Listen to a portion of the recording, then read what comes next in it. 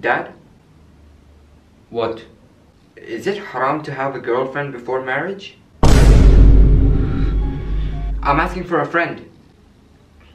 Oh, okay. Yes, it's haram to have girlfriend before or after marriage. Oh, okay.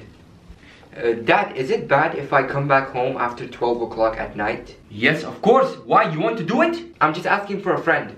Oh, yes, it's bad. Tell him he should not do it. Okay, Dad, for sure. Dad, is it okay if I go to a party? What?